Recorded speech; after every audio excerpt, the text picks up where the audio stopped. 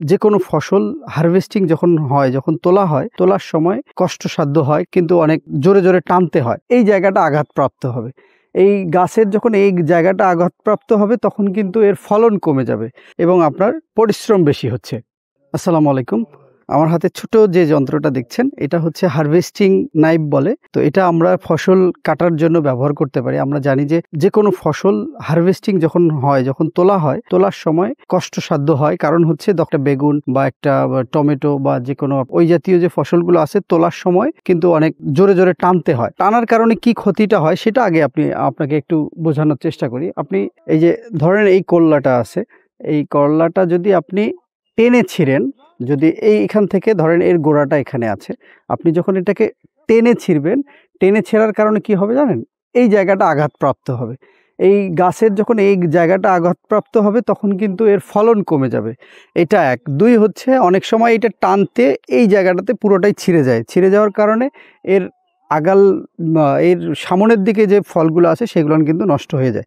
তার একটু আমি উদাহরণ আপনাকে দেখাই।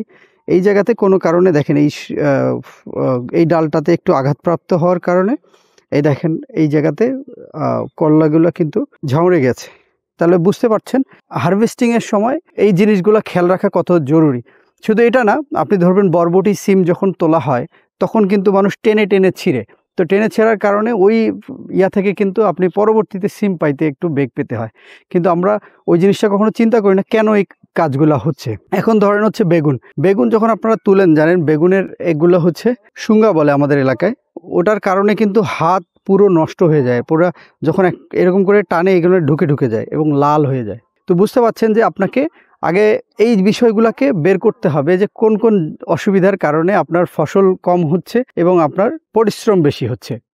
তো আমার মনে হয় এই ছোট্ট যন্ত্রটা আপনার অনেক কাজে দিবে। তো আপনার জমিতে যে হারভেস্টিংগুলো হয়, যে ফসলগুলো আপনারা করেন, সেই ফসলগুলোতে যাতে আপনি ভালোভাবে হারভেস্ট করতে পারেন এবং গাছের কোনো ক্ষতি ছাড়াই তাহলে আপনারা এই যন্ত্রটা ব্যবহার করতে পারেন, এই হারভেস্টিং নাইফটা ব্যবহার করতে পারেন এবং অর্ডার করতে পারেন। যে কোনো কুরিয়ারে নিতে পারবেন সারা বাংলাদেশ। সবাই ভালো থাকেন, সুস্থ থাকেন, আধুনিক কৃষির সাথেই থাকেন। ধন্যবাদ।